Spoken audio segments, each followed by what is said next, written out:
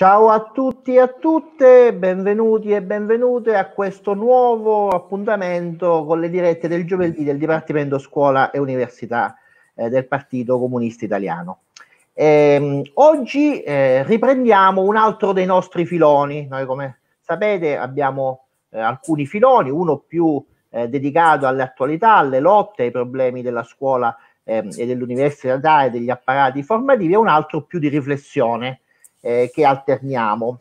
Oggi proponiamo una discussione che sarà eh, di riflessione, ma avrà anche una sua eh, rilevanza e una sua importanza rispetto ai problemi eh, che abbiamo di fronte.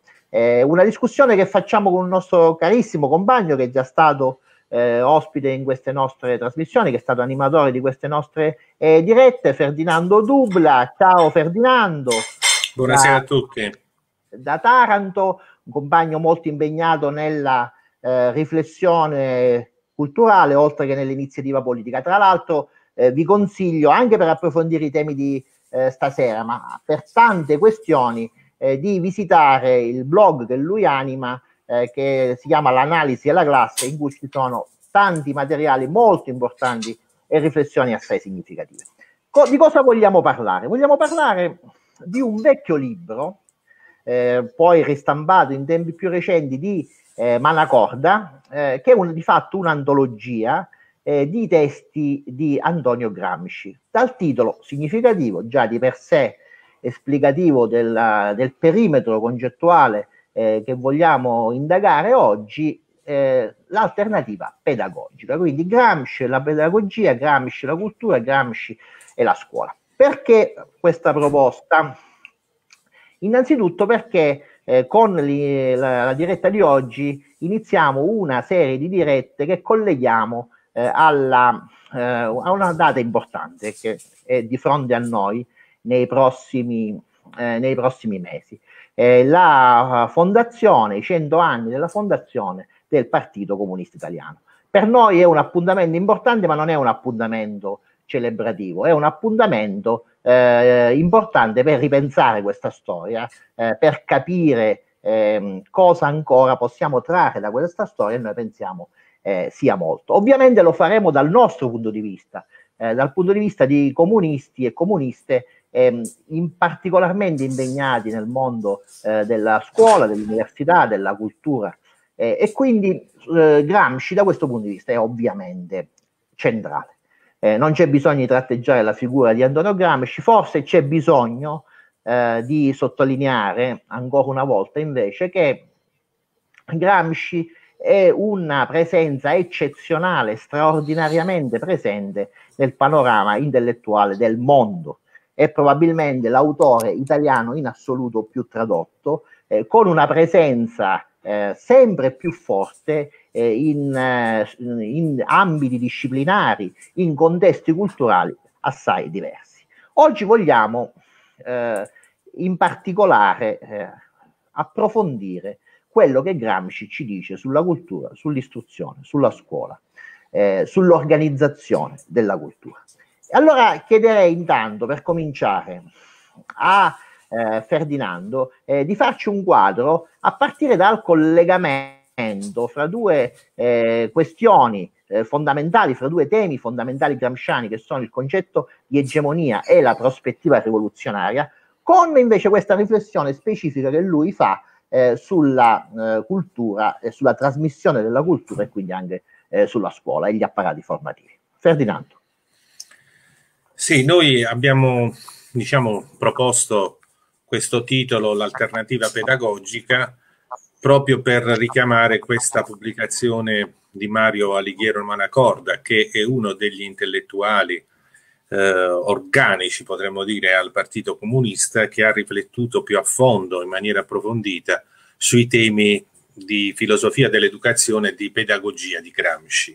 Questo libro sembra datato 1972, non, non è altro che un'antologia di scritti di eh, di Gramsci, ma è stato rieditato con l'introduzione eh, dello stesso Manacorda nel 2012, proprio per l'attualità che eh, Manacorda eh, ravvisava nei temi che Gramsci discute in particolare nei quaderni dal carcere, che come si sa sono stati redatti dal 1929 al 1934, eh, in particolare a Turi, e nelle lettere, nelle lettere dal carcere. Uh, ora, uh, i temi che vengono intrecciati uh, non sono soltanto ovviamente quelli strettamente pedagogici, perché sebbene la pedagogia abbia in Gramsci una sua autonomia e quindi ha bisogno di una riflessione autonoma, ovviamente questo tema viene collegato a tutti i temi politici o filosofici o più strettamente eh, teorici della cosiddetta filosofia della prassi, come lui appunto chiamava, ehm, come chiama nei quaderni, eh, l'impianto teorico complessivo del, del, marxismo. Quindi la pedagogia, l'educazione, eh, la scuola, ehm, i metodi educativi vengono eh, collegati strettamente ai eh, temi più generali eh, che sono cari al, al, ad Antonio Gramsci in particolare il tema dell'egemonia, in quanto, eh, diciamo così, la scuola um, è forse la principale delle istituzioni sovrastrutturali che ha, uh, diciamo, un compito fondamentale che è quello di trasmettere cultura, sapere alle nuove generazioni. E quindi come tale è una delle istituzioni sovrastrutturali più importanti. Eh, la centralità della scuola eh, è la centralità di un'istituzione che eh, per il suo carattere eh, pubblico deve naturalmente essere oggetto di una riflessione meditata. Ora, in tutta la filosofia di Gramsci, in tutta, tutti gli scritti di Gramsci, c'è, diciamo, trasversalmente il tema di una intenzionalità pedagogica.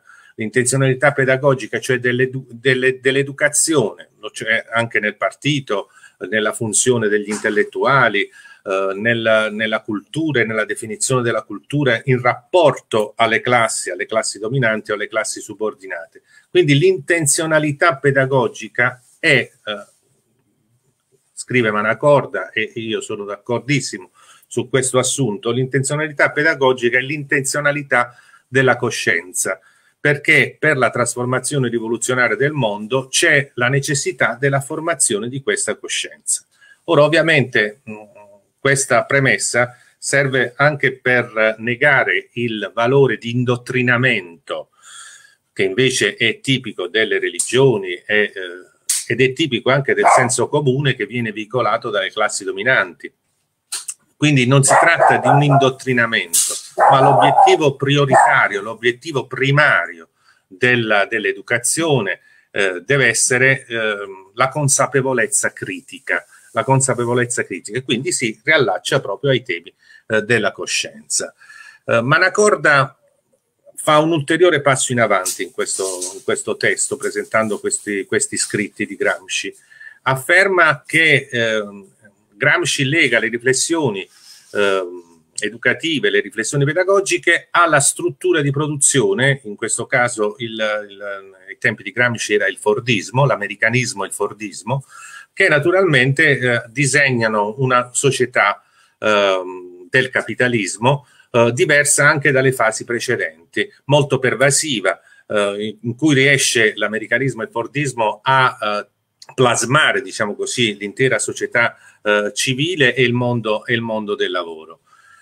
quindi noi possiamo centralizzare nella lettura di Manacorda e, cercare di attualizzarla anche eh, questo oh, problema che abbiamo anche come operatori della scuola, cioè da una parte la scuola come riproduzione eh, del consenso e della riproduzione del senso comune o del folklore, cioè come visione sem- dei semplici, eh, come filosofia dei semplici eh, delle classi dominanti e dall'altra la necessità di una trasformazione strutturale eh, della società secondo valori nuovi, secondo quello che eh, per Gramsci deve essere un umanesimo integrale. Ecco qui la lotta per l'egemonia. La riforma intellettuale e morale passa dalla scuola, cioè eh, la scuola è la principale istituzione sovrastrutturale eh, dell'egemonia. È una lettura che ha trovato conferma, io credo, eh, negli anni che, che viviamo una trasformazione della scuola, ma nel senso dei valori veicolati appunto dalle classi dominanti, perché se non c'è appunto una uh, lotta per l'egemonia, passa una visione della scuola, dell'educazione, dell'educando stesso, ehm, che è funzionale agli interessi delle classi dominanti e ai rapporti di produzione che questi naturalmente generano e tendono a riprodurre costantemente. Eh, poi Althusser chiamerà eh, l'apparato eh, diciamo riproduttivo ideologico no? Eh, questa, la, la scuola eh, in Gramsci non c'è questa lettura semplicistica, diciamo, della scuola come pura riproduzione. C'è una dialettica eh, che nella scuola eh, si sviluppa e in questa dialettica naturalmente le forze eh, del cambiamento, le forze della trasformazione strutturale della società, perché bisogna legare la scuola anche ad una visione più globale della società, eh, hanno. Questa dialettica è una dialettica aperta appunto alla, um, agli esiti che la lotta delle classi sociali appunto ci presenta davanti. Benissimo, eh, molto chiaro quello che ha detto Ferdinando. Io sottolineerei due aspetti, due, eh, tra le tante cose che ha detto, due eh, questioni. La prima è il tema dell'intenzionalità pedagogica, che è da Gramsci, ma io credo che sia eh, un elemento che da Gramsci passa poi a tutta la tradizione eh, del comunismo italiano. Eh, proprio questo aspetto pedagogico, questo aspetto di trasmissione attiva del eh, sapere, eh, di cui persino le sezioni poi no, sono eh, soprattutto nel secondo dopoguerra anche elemento, proprio elemento non solo di organizzazione politica, ma insieme all'organizzazione politica eh, di alfabetizzazione persino. No? Non, non, so, non, furono pochi i contadini del mezzogiorno che impararono a leggere ne, non nelle scuole, ma nelle sezioni del Partito Comunista Italiano.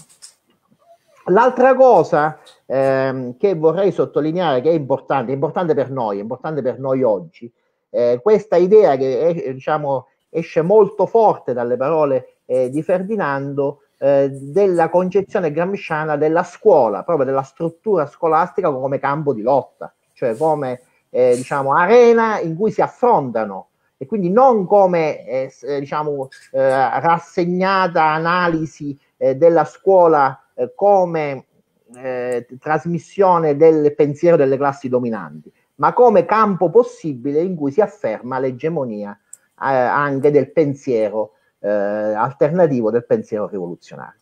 Adesso Ferdinando però ti vorrei sollecitare, diciamo così, sui nemici, no? C'è un famoso co- ehm, eh, diciamo, corso eh, di Togliatti, no? che Togliatti tenne l'esilio, il corso sugli avversari, no? Ecco, io ti vorrei eh, sollecitare a analizzare gli avversari di ieri e di oggi di questa concezione. Ehm, Gramsci si confronta, confronta criticamente con pensieri forti, forse più forti di quelli diciamo, delle classi dominanti attuali, il neodealismo, lo stesso attivismo pedagogico, e esprime una critica molto circostanziata. Quella critica che è forte verso quelle correnti ci è utile anche oggi? Ci è utilissima perché credo che ehm, i temi non siano ovviamente gli stessi, ma la metodologia con cui vengono affrontati eh, può essere utile in una battaglia culturale che eh, bisogna ehm, continuare a sviluppare. Io partirei, io citerei innanzitutto un passaggio di Gramsci molto bello, anche molto conosciuto, eh, il suo concetto di cultura. Cultura, secondo Gramsci, leggo dal, dal dodicesimo dei quaderni dal carcere, non è possedere un magazzino ben fornito di notizie, ma è la capacità che la nostra mente ha di comprendere la vita, il posto che vi teniamo, i nostri rapporti con gli altri uomini. Ha cultura chi ha coscienza di sé e del tutto, chi sente la relazione con tutti gli altri esseri, cosicché essere colto, scrive Gramsci, essere filosofo lo può chiunque voglia. Quindi la cultura è organizzazione, disciplina del proprio interiore, è la presa di possesso della propria personalità.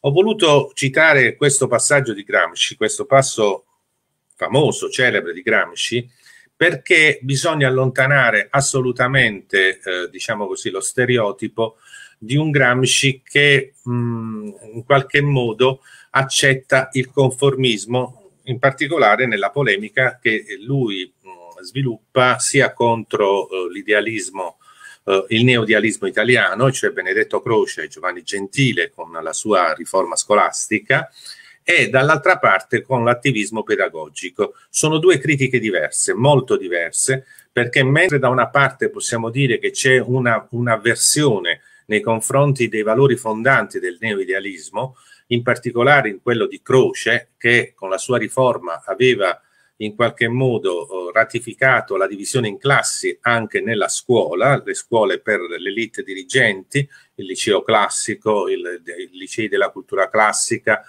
e dall'altra parte invece istitu- gli istituti scolastici professionali che dovevano in qualche modo uh, formare la classe operaia, come se la classe operaia appunto non dovesse pensare ma soltanto eseguire manualmente o professionalmente i, i compiti lavorativi. Eh, naturalmente Gramsci rifiuta questa concezione, questa concezione classista ed elitaria, come elitaria era anche quello del, del, del Croce, di Benedetto Croce, che pure a un certo punto, dopo il 1925, eh, combatte a suo modo anche la, um, una battaglia antifascista dal punto di vista però eh, liberale. Poi vi è invece l'attivismo pedagogico. Ora noi non sappiamo esattamente, Gramsci non aveva tutti gli strumenti in carcere, le riviste, i libri, eh, a tal punto da eh, come dire, eh, scrivere in maniera precisa, puntuale la sua critica. Naturalmente la critica però si muove intorno alla, alla, mm, alla concezione del fanciullo che l'attivismo pedagogico in qualche modo portava ne, come novità nella, nella, storia della pedagogia e in generale come concezione di, filosofica dell'educazione. C'è un altro passaggio di, di, Gramsci dove dice, e anche in una lettera poi alla, a Giulia, in cui dice che ehm, il fanciullo non è un gomitolo da sgomitolare, come appunto lo spontaneismo in qualche modo di questa, dell'attivismo pedagogico eh, presupponeva. La centralità del bambino diventava la centralità dei suoi interessi spontanei quindi questo per Gramsci è un errore eh, di presupposto nell'educazione, perché il conformismo comunque, eh, che nella scuola elementare per esempio è vero e proprio dogmatismo, il conformismo è un punto di partenza con cui bisogna fare i conti, cioè la visione del mondo, la, um, l'architettura concettuale e eh, culturale del soggetto che deve essere educato non può essere astratto, ma deve essere appunto il punto di partenza del, dell'azione educativa. Quindi ehm, questo gomitolo non si sgomitola per arrivare a una personalità creativa, perché questo è l'obiettivo fondamentale, l'ho detto anche all'inizio, l'obiettivo primario dell'educazione secondo Gramsci è la consapevolezza critica, e cioè avere un soggetto che abbia tutte le capacità eh, critiche, mentali e anche pratiche per la propria emancipazione, quindi eh, e per la propria autoregolazione. È un po' come la disciplina. La disciplina esteriore coercitiva è necessaria in una certa fase dell'educazione, ma la disciplina interiore deve trasformarsi in una disciplina interiore per essere accettata come tale, e cioè come autodisciplina. È evidente che qui Gramsci ha eh, molto, um, diciamo in maniera molto significativa in testa la società autoregolata, in cui l'autodisciplina è l'autodisciplina dell'uomo collettivo, che non solo, eh, diciamo così, ha la funzione di eh, scegliere i valori in cui eh, credere, ma ha anche la funzione di eh, elaborarli, trasformarli e creare dice Gramsci, l'uomo collettivo. La disciplina collettiva non è co- coercizione nei confronti dell'individuo singolo, ma è più probabile che l'individuo singolo possa coartare la, vo- la volontà eh, collettiva. Eh, quindi questo gomitolo, diciamo così, no? questa figura metaforica, simbolica del gomitolo che si sgomitola, è l'accusa principale che anche alla stessa Giulia, quindi alla madre dei suoi figli, lui muove eh, come concezione anch'essa metafisica perché astrae da un punto di partenza necessario. È come se noi appunto non, non, non abbiamo di fronte eh, dei soggetti in carne ed ossa che in qualche modo hanno assimilato l'ambiente culturale in cui eh, sono vissuti fino a quel momento per trasformare, per criticare quegli stessi valori di quell'ambiente, noi dobbiamo partire comunque dal conformismo, poi trasformarlo in un conformismo dinamico e la disciplina deve essere una disciplina cosciente nel, nell'indirizzo, nella, nella mm, finalità di, una di un'autodisciplina, di un'auto-organizzazione.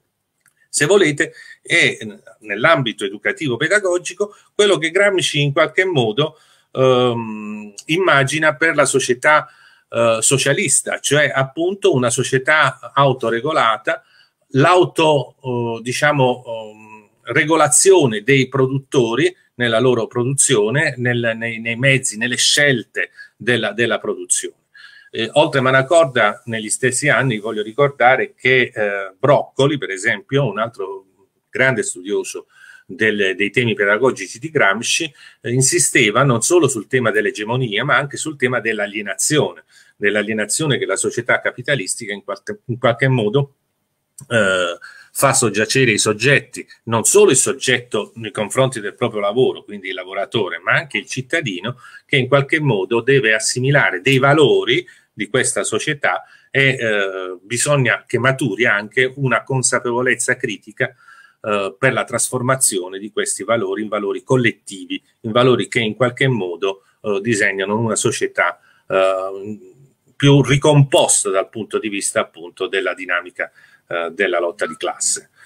Questo in qualche modo diciamo, è la critica sia al neoidealismo italiano eh, sia alla, alla, all'attivismo pedagogico, naturalmente in, molto in sintesi e senza scendere eh, troppo nei, nei particolari.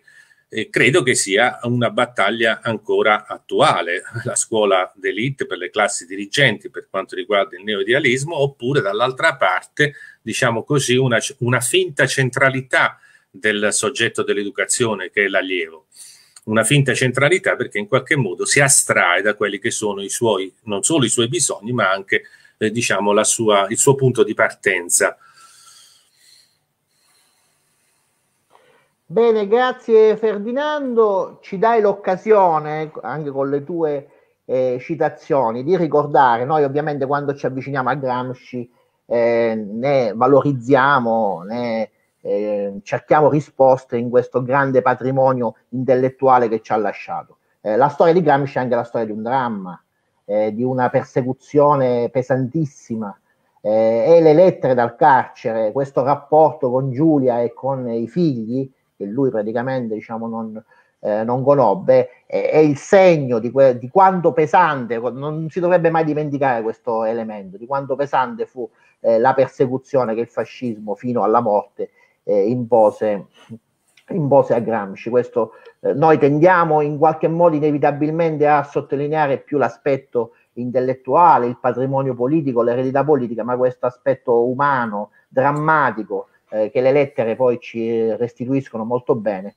eh, credo sia un elemento sempre eh, da ricordare. Eh, così come è molto importante, io lo vorrei sottolineare, quello che dicevi tu rispetto anche a eh, come in questo contesto si situa il concetto di alienazione, eh, perché e credo anche sia un elemento assai attuale. È proprio su questo che ti vorrei, andando verso la conclusione di questo nostro rapido, in, però credo molto importante incontro eh, sottoporti. Eh, noi abbiamo fatto un ragionamento sulla critica eh, di Gramsci all'esistente, alle eh, correnti che erano in campo nella sua eh, fase storica e anche a ciò che questo, eh, questo patrimonio, questo insegnamento, questa critica ci può dare ancora oggi nella nostra battaglia contro nuove diciamo, proposte delle classi dominanti che però spesso ripercorrono quei, quei sentieri.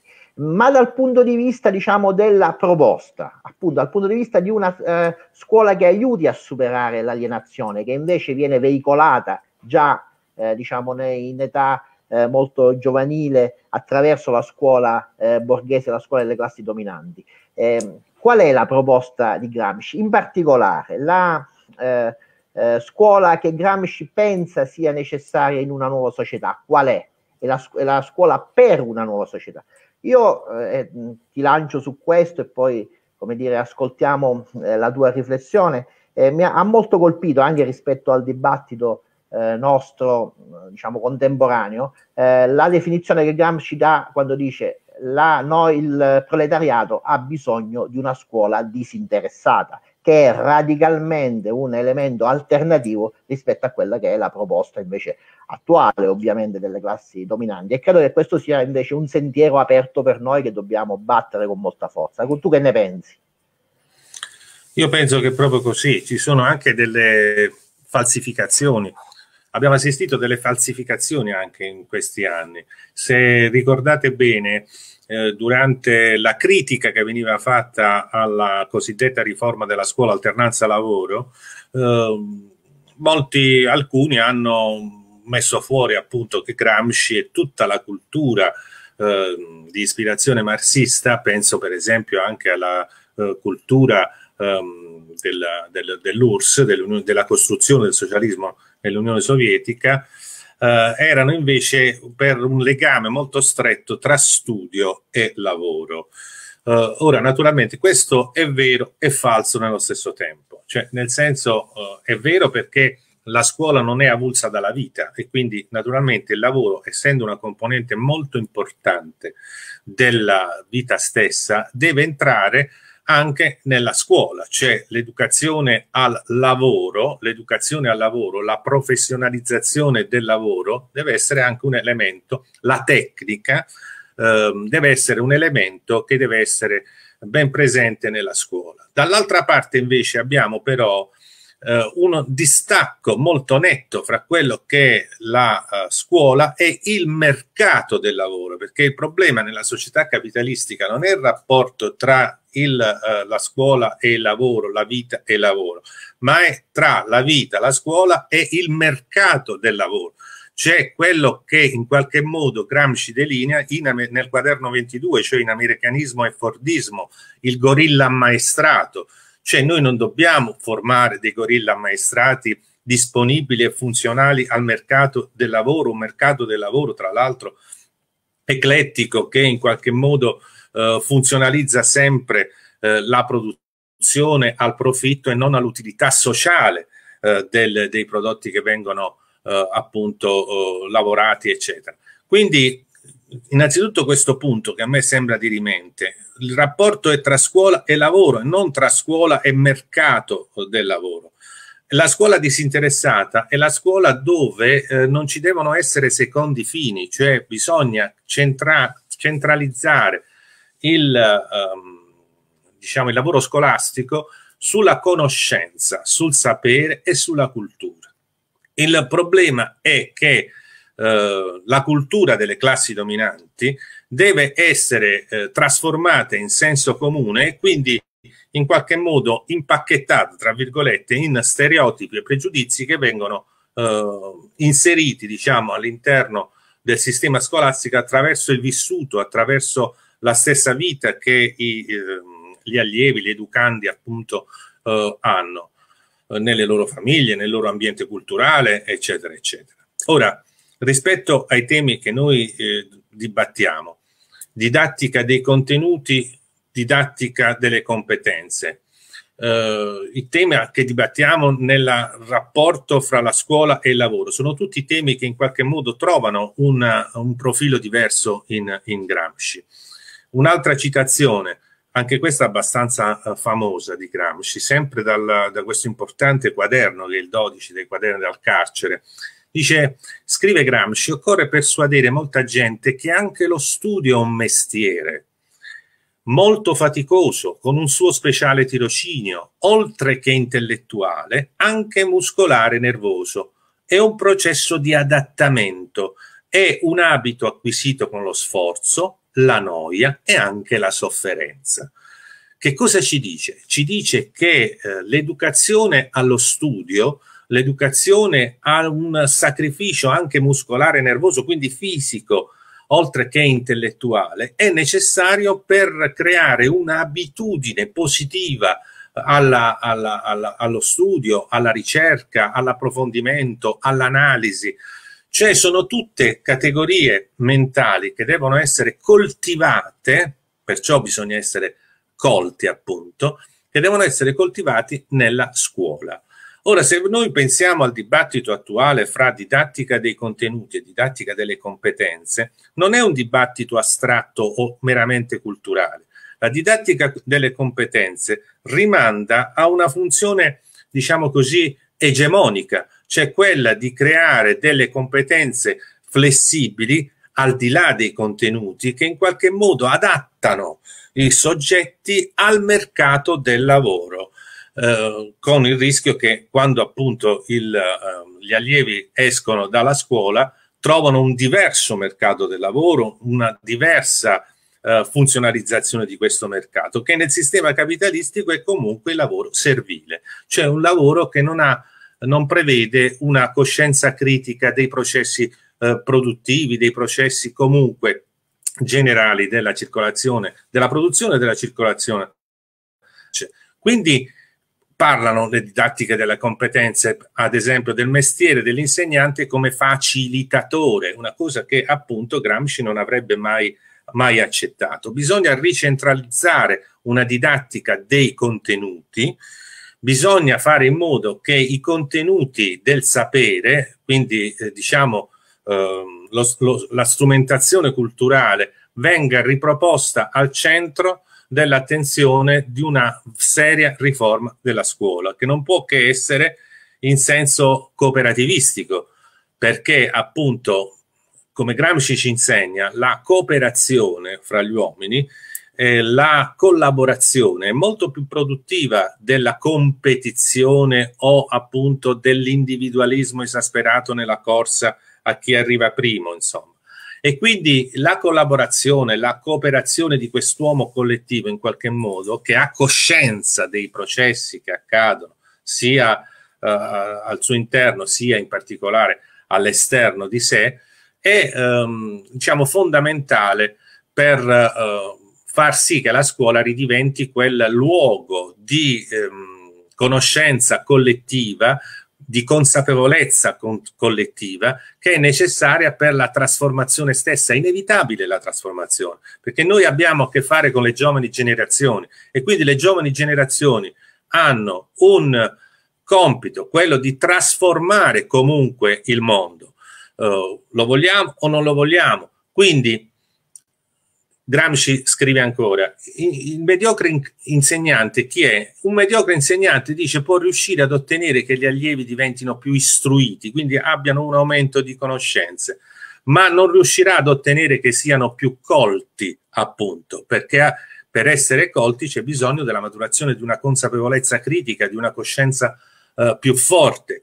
Quindi la scuola che eh, Gramsci prefigura è una scuola uh, cooperativistica, cioè in cui ci sia l'autogoverno, diciamo, degli attori fondamentali, la centralità dell'educando e la centralità dei loro educatori. Quindi se la scuola viene centralizzata sulle esigenze e sui bisogni degli educandi e degli educatori, eh, nel senso di una trasformazione di, e della consapevolezza critica, noi avremo veicolato quei valori della cooperazione, della solidarietà, della collaborazione, che sono completamente antitetici a quelli de, di un modello invece capitalistico che è basato sull'individualismo, sull'arrivare per primi, sulla, in definitiva, sull'alienazione, appunto, cioè lo spossessamento di sé che nell'identità personale viene costruita proprio nella scuola in anni eh, decisivi.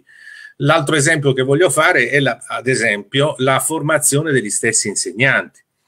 Noi aspettiamo la formazione degli insegnanti dall'esterno, dal ministero o da istituti privati. E invece il modello di scuola che, eh, ad esempio, proprio Gramsci ha è quello dell'auto-organizzazione, significa anche la capacità di eh, far circolare conoscenze, saperi, esperienze all'interno stesso uh, degli insegnanti in maniera auto-organizzata, in forma seminar- seminariale, non soltanto dall'esterno. Quindi una riflessione collettiva su quella che è l'identità e la propria professione, l'utilità sociale della propria professione, come migliorarla e eh, in una circolazione continua di idee, in un incontro fra eh, persone appunto che hanno questo delicato compito e che in qualche modo hanno bisogno di confrontarsi tra di loro per poter migliorare eh, la loro capacità di eh, educare, di istruire, in qualche modo di fare cultura e di produrre cultura, perché ricordiamo, ognuno è filosofo, ma in particolare nella scuola si formano gli intellettuali della nuova società. Bene, eh, veramente molto importante quello che ci ha detto Ferdinando. Se posso fare una battuta, eh, le parole di Ferdinando eh, su competenze e conoscenze sarebbe assai opportuno che fossero proiettate prima dell'inizio di ogni collegio docenti in questa fase dove si parla spesso a sproposito eh, di, questi, di questi termini. Eh, io credo che appunto abbiamo fatto un lavoro utile, sia pure un po' rapido come un po' il nostro costume.